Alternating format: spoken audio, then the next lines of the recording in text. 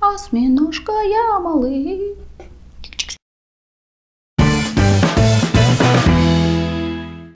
Рука Будды. Вот такой интересный и необычный фрукт.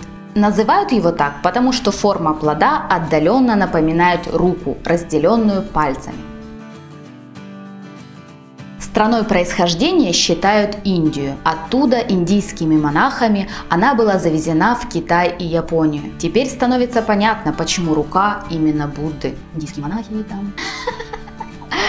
Мумификация. Другие ее названия – цитрон пальчатый и цедрат. Вес одного плода может быть около 400 грамм, а в длину вот эти вот пальцы могут достигать до 40 сантиметров. Это, пожалуй, один из самых больших цитрусов в мире. Кожура у него толстая и вот такая вот бугристая. В цитроне почти нет мякоти и косточек.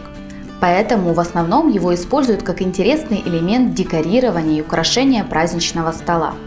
Вкус у него кисло-сладкий, с легкой горчинкой. Сам плод очень ароматный. Его цедру сушат, засыпают сахаром, делают цукаты и варенье.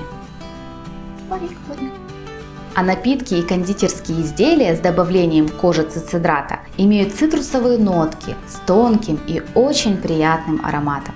В руке Будды содержится огромное количество аскорбиновой кислоты, что позволяет ей благотворно влиять на иммунитет.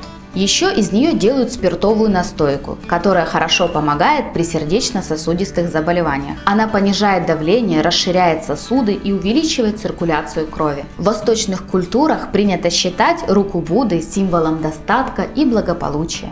Обязательно обратите свое внимание на этот интересный экзотический фрукт. Если вам была интересна эта информация, подписывайтесь на наш канал, чтобы ничего не пропустить.